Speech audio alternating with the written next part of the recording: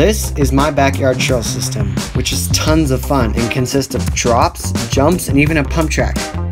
Okay, not really. Actually, the only thing in my trail system is a pretty terrible wooden jump that I named Napoleon Dynamite because of how awkward it is, just like the movie. You got it. Nice. Oh! But today, Anson and I are going to change that by making a whole new trail and jump. First things first was to clear out a whole new trail.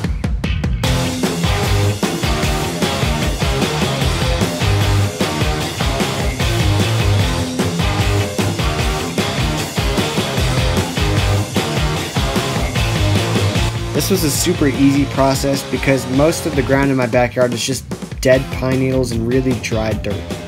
I kinda wish my soil was super rocky because for some reason I really enjoy super techy stuff that breaks my bike.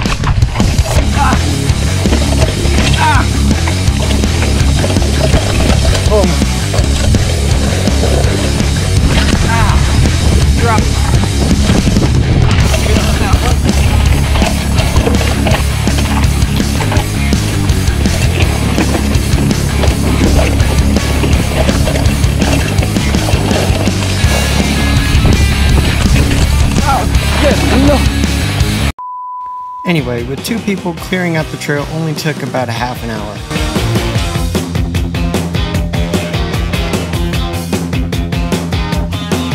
We tried to make this trail really wide and smooth, unlike my other trail, because the jump we were planning to put in it. We then made a quick trip to Home Depot to pick up some wood for the jump. Really all we needed were four 8 foot 2x4s for the frame.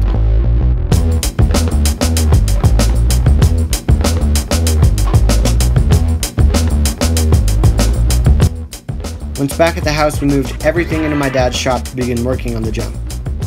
For all the safety people watching this, my dad is a carpenter, so I know how to safely operate all of these tools. By the way, what kind of jump are we building? And then after we cut those, we'll, fit, we'll do two one and a half foot sections. I wanted to make something simple and cheap, so I decided on a kicker ramp of sorts.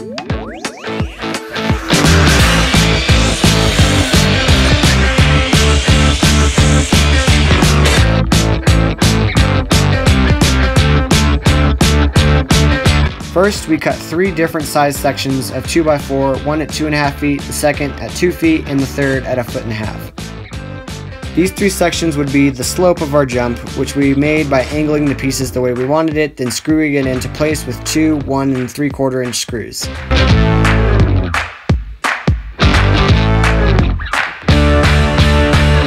This design could have easily been made better by cutting angles on the 2x4s with the chop saw, but we were trying to save time, especially because it was getting stormy outside. After putting together the first angled section, we repeated the process again to make the second section.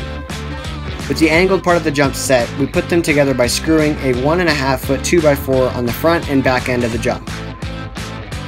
Next, we cut two 3 foot sections of 2x4 on the chop saw for the main supports of the jump the, uh, the, we made, the supports are here, but look at how steep that is. Yeah, you kind of got to get a. Let's. This thing is. Uh, what? With the frame complete, this kicker ramp was really starting to take shape, and it was way bigger than we imagined. But before we could ride it, we had to put the actual planks on.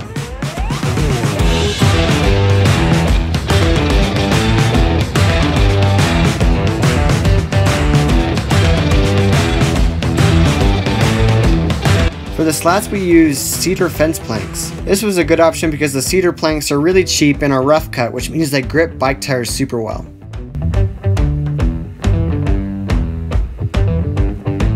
I also cut two of the planks in half on the table saw so we could put them where the jump curves up to make a more smooth transition.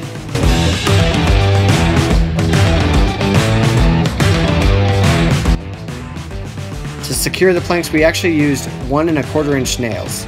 While these don't last as long as screws, they're a lot cheaper than actually using 60 screws.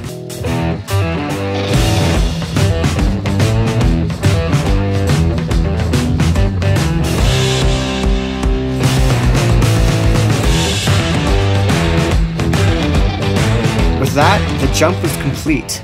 All we had to do now was set it up on the trail and ride it. To make the jump fit well, we dug into the ground quite a bit where the beginning would sit, and then building some dirt up to the lip. This would make the transition between the trail and the jump really smooth.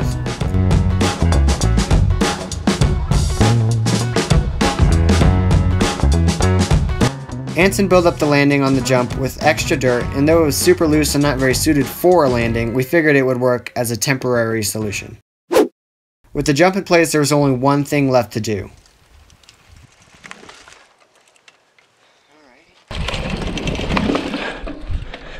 Alrighty. That, that felt pretty good. The transition was really nice. Oh gosh. okay. Here we go.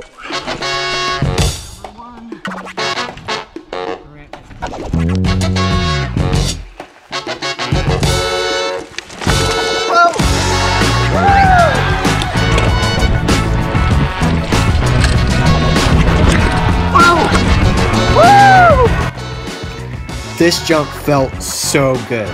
It was smooth, fast, and addicting.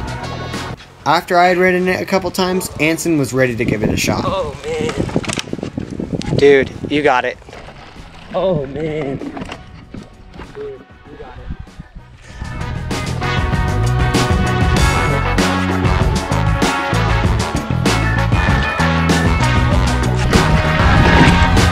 Oh my gosh, that's amazing! What the heck? The landing's hard as heck. I'll try to do a bit of a trick here, like twisting the front wheel or something. Here we go.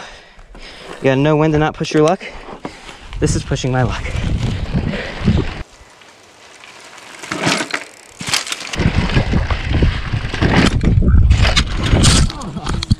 Up.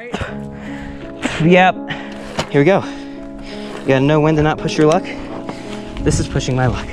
I'm just gonna take a minute here.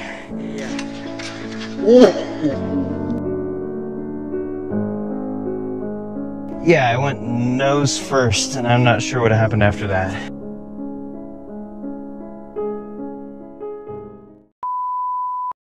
Well, other than that wipeout, nothing really went wrong with this epic kicker ramp.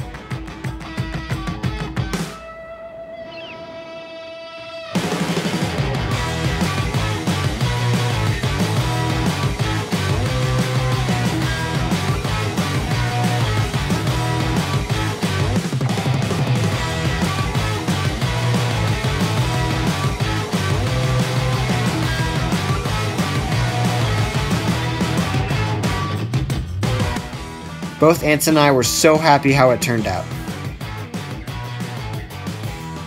After some careful thinking, I dubbed the jump El Guapo, and if you don't know what that means, look it up. Or just watch The Three Amigos. Okay, everybody, thank you so much for watching this. I really hope you enjoyed it because it was my first backyard trail video. This jump is amazing, and I've already decided to name it El Guapo. If you don't know who that is, go watch The Three Amigos. If you have any ideas for names of this trail system or the trail that we just made, uh, let me know in the comments below. Please leave a like and consider subscribing because it really does help. And if you want to see more of these videos, so yeah, again, thank you for watching, and I will see you next time on To New Heights. Woo!